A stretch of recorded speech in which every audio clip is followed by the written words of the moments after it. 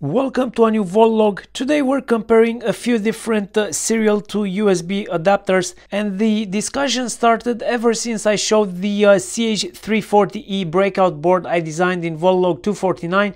People wanted to know if uh, the CH340E affordable chip would perform similar to the well-known FTDI or Silicon Labs chips and I'm thinking at high throughput and reliability here, the kind of applications where you are sending lots of data fast and you need it to be transferred reliably. So today I'm going to uh, be comparing the CP2103, which is right here on this black PCB, with the CH340E on this small breakout board and the FT232RL.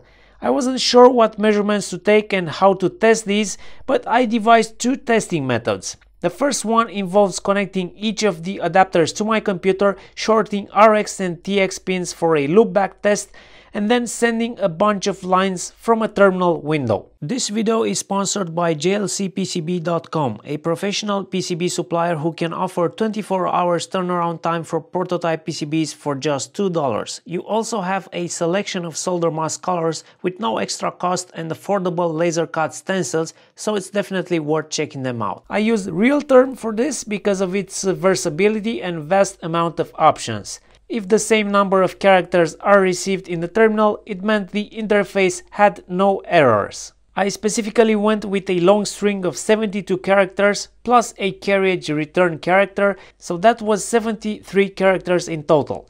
To make it even more difficult, I was sending this line 600 times as fast as it was possible to send over the selected uh, 900k baud rate.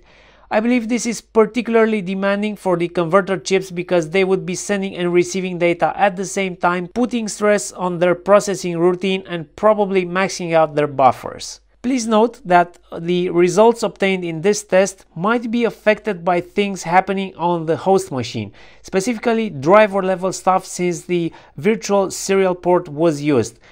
The test was performed on a Windows 10 machine for reference. For example, a specific driver for the FT232 chip might be configured such that it performs worse in this test and that might not reflect the actual hardware performance of the chip. First, the CP2103 on the black PCB transferred 32,768 bytes and this number looks familiar, it's the maximum positive value for a 2 byte signed integer. So this could very well be a number set in a driver config somewhere, either in the operating system or maybe in the terminal software or maybe even in the USB to serial conversion. After about 20 seconds, I was, I was surprised that it also transferred the remaining bytes up to 43,800, which would be 600 lines times 73 bytes. So in the end, it transferred all the bytes, but uh, reliably and in real time it only transferred uh, 32,768. Next, the CH340E transferred 32,800 bytes and this number doesn't look interesting but for comparison purposes it's very similar to what we had before. However, this time it did not seem to transfer the uh, remaining bytes up to the uh, full amount, it just stayed at that value. Next, the FT232 transferred 25,010 bytes and then it stopped there. After these three tests, I wasn't getting a feeling that uh, this is a reliable measuring method, so I decided to redo these tests and to my surprise I got completely different results. So in the end I would say this is not a reliable measurement method because I suspect there are things happening at the operating system driver level that influence the uh, results we're getting in this test. The second test I devised involved using the modules as a transmitter but with nothing connected on the output, just an oscilloscope probe. I just wanted to check if they will output continuously or if they have any kind of issue when there is a lot of data to transmit. I was using the same 600 lines of 73 bytes each.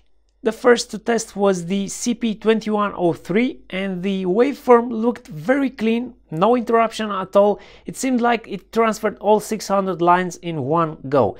But on subsequent tries I saw interruptions happening in the waveform, so either the host system or the adapter stopped at some point before continuing to send data. Next, I connected the CH340E and here the waveform looked good in the first try, no interruptions, but next, surprisingly, it also looked good on subsequent tries, no interruptions at all, no matter how many times I retried.